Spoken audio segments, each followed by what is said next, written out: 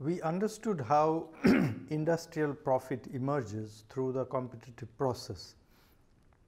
Next, we want to understand the second fragment of uh, surplus value, which is the profit appropriated by commercial capital as commercial profit.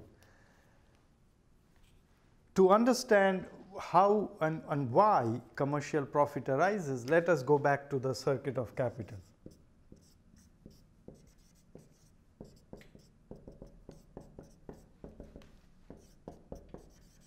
So, the circuit of capital in the circuit of capital surplus value is generated here. The circuit of capital shows that surplus value will be realized only through sale.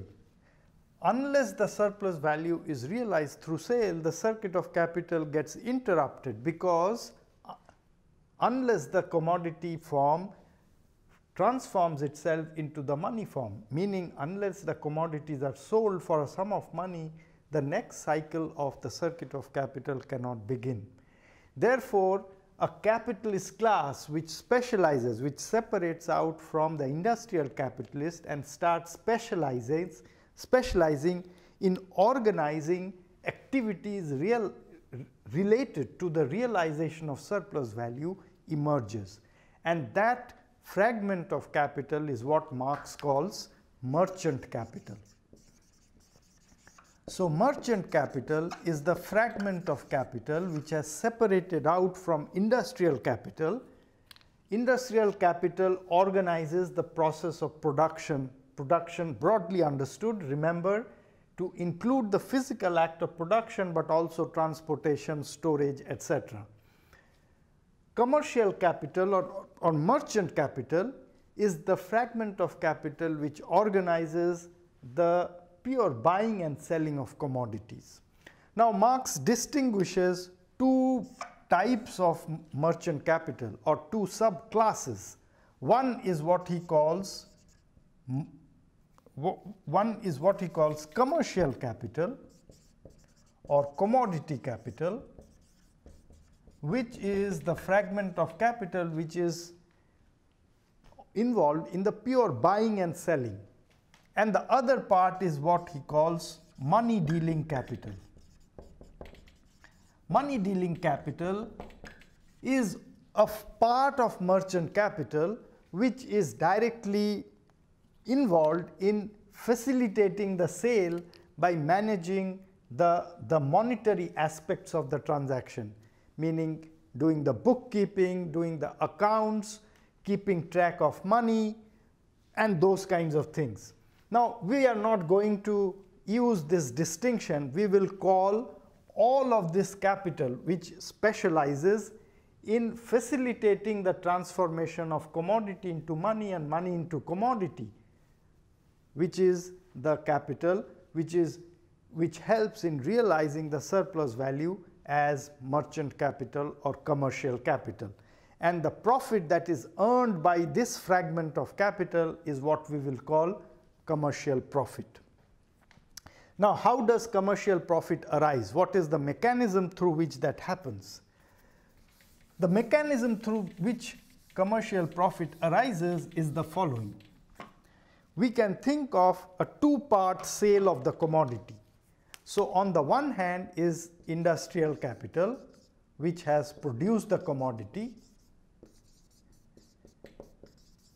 and then on the other side is the consumer which will consume the commodity. So far we have kind of assumed that the capitalist who produces it directly is able to sell to the consumer. But that is not what happens in advanced capitalist countries as capitalism develops, there is a segment of capital who intervenes, which is merchant capital. So what happens is that instead of industrial capital directly selling to the consumer, industrial capital sells to merchant capital and then merchant capital sells it to the consumer. The price at which the consumer buys is the price of production. So that's the price at which we have done our calculation. So that's the price of production. the price at which the industrial capital sells to merchant capital is some intermediate price. Let us call it the, the merchant price or the price of price of the merchant. No, not price of the merchant, let's call it the uh, an intermediate price.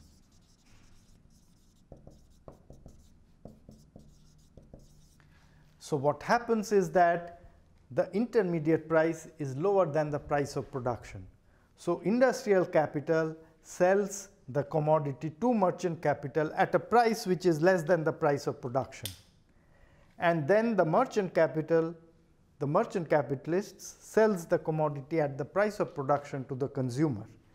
Through this process, the total surplus value which was supposed to be realized through the price of production gets divided into two parts. One part is realized by industrial capital, another part is realized by merchant capital.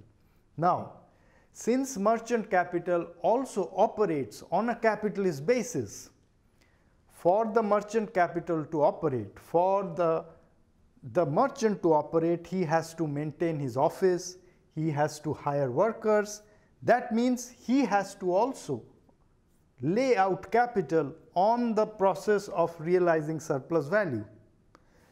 Now, any capitalist who has sums of money would not, involve would not get involved in, in the process of realizing surplus value as merchant capital unless the system guaranteed the same average rate of profit to merchant capital as to industrial capital. And that is the principle which determines how the total surplus value gets distributed between industrial capital and merchant capital. Whatever is the total surplus value that is entailed by the price of production gets divided into two parts in proportion to the amount of capital involved in industrial capital and the amount of capital involved in merchant capital. Let's look at an example to make this more concrete. So let us go back to the example that we worked out in the in the last segment where we understood prices of production, but instead of dividing the capital into five sectors, let us pool them together and make them into one sector. So now we have industrial capital and industrial capital has constant capital of 390, variable capital of 110 and the rate of surplus value is 1 and therefore the surplus value generated is S eh, is 110. Now the new factor which we are bringing in here is commercial capital.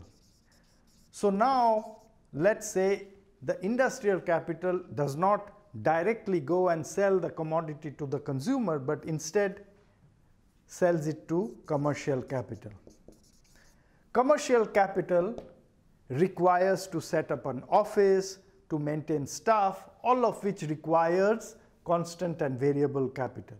Let's say commercial capital requires 40 constant capital and 10 variable capital so that a total of 50 units are required to be laid out as commercial capital to facilitate the sale of the commodities.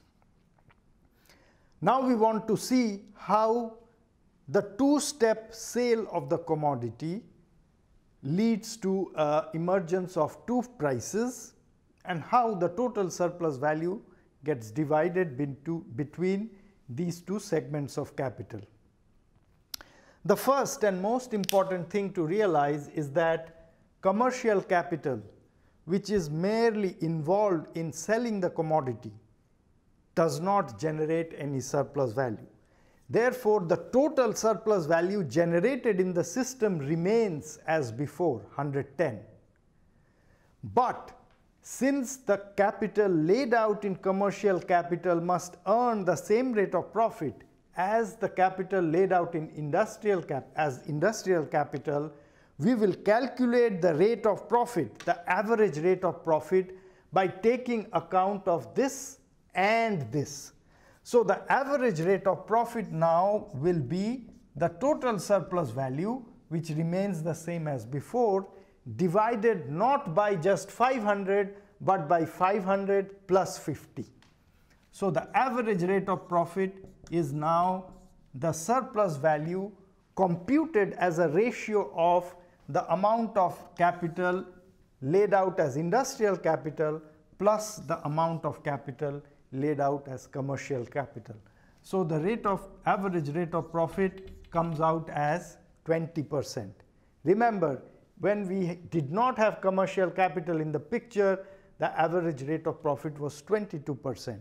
So because of the intervention of commercial capital the average rate of profit falls and that is precisely because a part of the surplus value is now being appropriated a by a fragment of capital which is not involved in its generation.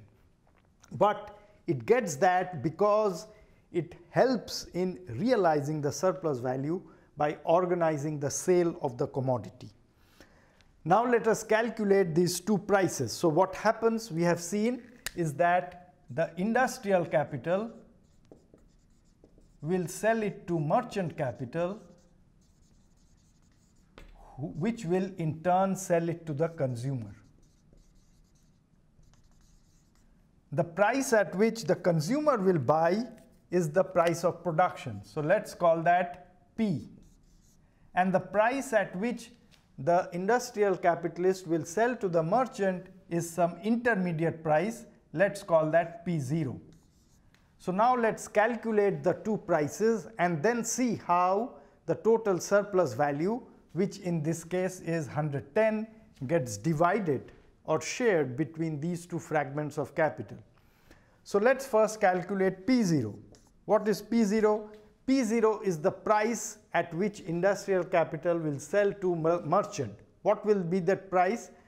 This will be the price which will enable industrial capital to get 20% rate of return on its capital. Its capital is 500 and a 20% rate of return on that means 1.2 multiplied by 500 which is 600. So the price at which the indus industrial capital will sell to merchant capital is 600. What is the price of production? The price of production is the price at which the merchant will sell to the consumer. Now what is the price of production? The price of production is the price which gives the 20% rate of return. So the total capital involved here is 500 plus 50. 500 as industrial capital, 50 as commercial capital. The total capital must get a rate of return of 100, 120%. So we multiply it by 1.2 and therefore what we get is uh, 660. So the price at which the industrial, the, the price at which merchant capital sells it to the consumer is 660. Now when merchant capital sells it at 660, what does he get? He gets back 600 which he returns to industrial capital and then on top of that he gets 60. What does this 60 represent? Well, his capital outlay was 50. Therefore, a 20% rate of return on 50 gives him 50 plus 0.2 times 50 which is exactly 60. So the 60 implies a 20% rate of return on the capital invested by commercial capital. Now this 600 which seems to be an expense that merchant capital has to bear does not really figure in his calculation. One can think of industrial capital selling the commodity to merchant capital as a credit. This is known as commercial credit. Once the merchant has sold it to the consumer at this price 660, he just returns the 600 to the industrial capitalist. So this does not really figure as an amount that could be counted as a capital that was that was invested or laid out by commercial capital. Therefore, we will just consider 50 units as the amount of commercial capital that has been laid out. So now we can see what, what has really happened. The total, the consumer has paid 660 and the industrial capital gets 600. The industrial capital had, had laid out 500 as his capital. So the profit of the industrial capital is 100. The merchant capital had laid out 50. So the profit of the merchant capital is 10. The total amount of capital invested is 550. 500 from the from industrial capital and 50 from commercial capital. The cost, the price at which the consumer purchases it is 660. Therefore, the total surplus value that is realized by the sale of the commodity is 110. 110 now in turn gets divided into two parts. 100 is realized by industrial capital as industrial profit.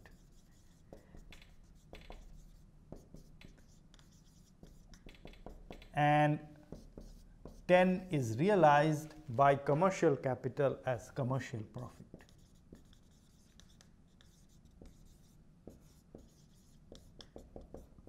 So this is how the capitalist system divides up the total surplus value as industrial profit which is appropriated by industrial capital and commercial profit which is appropriated by commercial capital. Commercial capital gets a part of the surplus value because it, it has the essential role of helping realize the surplus value created by industrial capital. It is essential because without realizing the surplus value, without converting the commodities into its monetary form, the next cycle of the circuit of capital gets interrupted. That is why it gets a part of the surplus value as commercial profit. Next, we are going to be trying to understand the two other fragments of surplus value, interest and rent.